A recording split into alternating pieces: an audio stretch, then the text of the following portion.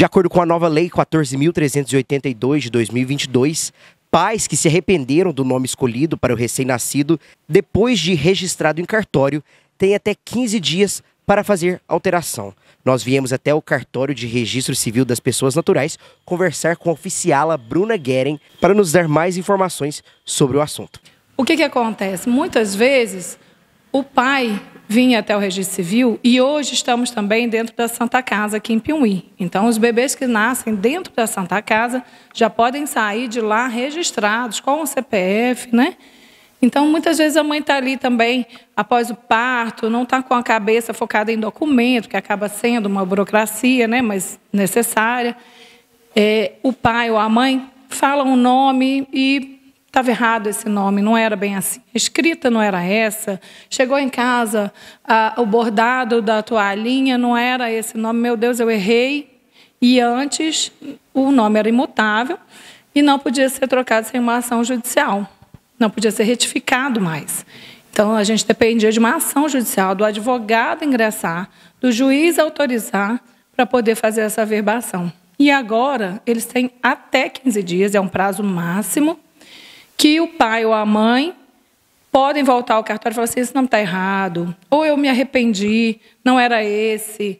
Ou até o pai chega na hora e fala assim: ah, eu não gosto desse, eu que estou registrando mesmo, então eu vou trocar, não é mais João, é José. Eu gosto de José. Chega em casa, a mãe, eu não quero esse nome, eu também tenho direito da escolha desse nome. E aí começa aquela briga. Então, eles têm até 15 dias para trocar esse nome. Não é questão só de retificação, é troca mesmo, às vezes não é uma mudança. É, porém, eles dois têm que comparecer porque é, os dois têm que estar de acordo. E aí, se tiver essa discussão, o pai quer de um jeito, a mãe quer do outro, é, eles têm que submeter ao judiciário para o judiciário decidir. Mas isso também vai pelo cartório, então é administrativo acaba virando um ato judicial, mas não depende de advogado para requerer, não ingressar com ação judicial que vai demorar né, anos, às vezes.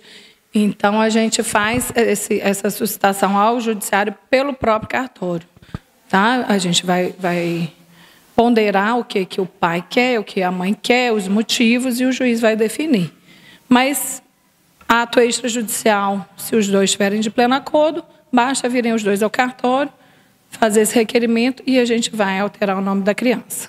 Em até 15 dias do registro, não é do nascimento. Além disso, a gente é, vai abordar rapidamente.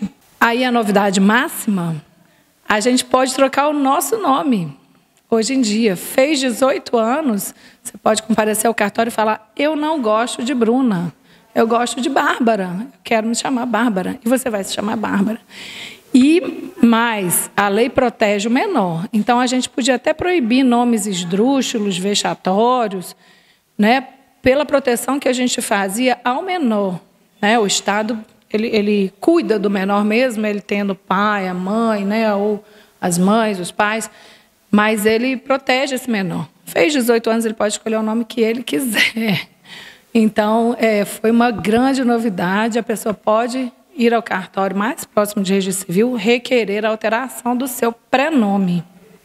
E também alterar o sobrenome. Eu tenho um sobrenome do meu avô que eu gostaria muito de colocar, que minha mãe não colocou na época, meu pai não colocou, e eu quero puxar esse sobrenome para mim. Pode? Pode. Só trazer a comprovação, você vai poder incluir esse sobrenome, desde que seja um sobrenome da sua família. Assim como é, nos casos de casamento, é, divórcio. Fiz o meu divórcio e não alterei meu sobrenome. Eu estou com o sobrenome do marido até hoje. Quero tirar. Pode? Pode também. Posso inserir? Pode inserir o nome do marido. Não coloquei na época do casamento. Agora eu quero? Pode. Posso inserir é, sobrenome de padrasto. Eu, ele não é meu pai, então na época não me registrou, mas eu queria incluir o sobrenome do meu padrasto. Pode. Muita alteração extrajudicial, de forma administrativa, é, que essa lei trouxe para a gente.